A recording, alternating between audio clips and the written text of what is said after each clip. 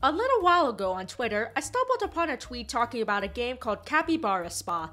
The cute looking graphics and premise got me interested, so I went on Steam and bought it for 8 USD. And now that I've played it, let's see what this game has to offer. Capybara seems to have gotten a lot more love as of late, and it's not hard to see why. They're the largest living rodent on Earth and can weigh over 100 pounds.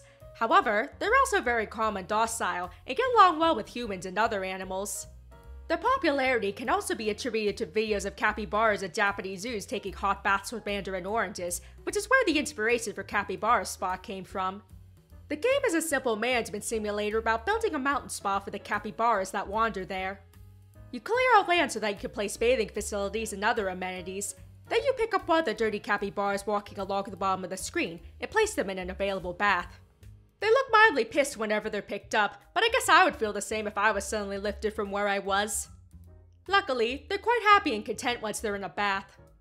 They'll also request snacks and other goodies, which will earn you money and experience to expand and improve your spa. As you gain more experience, you'll also have baby capybaras and other critters such as ducks come to visit, which you can place with your capybara as a bath buddy. More experience will also unlock different kinds of baths, including a mud bath that somehow makes the dirty capybaras cleaner. You can also unlock friendly insects like butterflies to help you serve the capybaras when your spa starts to grow. This game is oozing in cuteness, and the graphics are a big part of that cuteness appeal.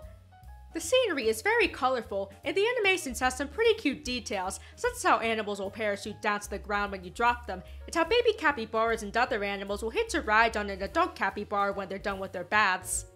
It's pretty hard to be in a bad mood when you play with how much adorable charm there is. The gameplay is very simple, and there's not really any challenge to it. It's just a game where you can relax by taking care of capybaras while happy music plays.